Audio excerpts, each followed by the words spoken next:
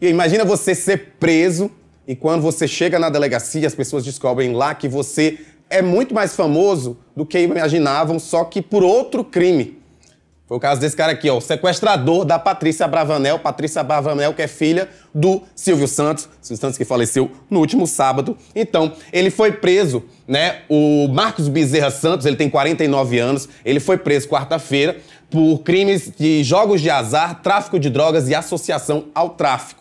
Quando chegou lá, eles puxaram a ficha e viram que ele já tinha uma passagem por sequestro, mas ele não comentou sobre esse crime aí, não, fez, não falou o crime que aconteceu em agosto de 2001. Mas aí a delegada Vanessa Bastos falou à TV Record que depois que viram lá na ficha direitinho, perceberam que de fato ele tinha essa ficha essa ficha criminal famosa, entre aspas, de que, tenha, tenha, que participou do sequestro da Patrícia Abravanel. Inclusive, ele deu detalhes sobre como ele fez, admitiu que participou ativamente do sequestro, falou que foi um dos que tirou a Patrícia da casa dela e levou para o cativeiro. A Patrícia Abravanel foi, então, solta no dia 28 de agosto de 2001. Ela ficou sete dias em um cativeiro e seis pessoas foram presas por conta desse sequestro.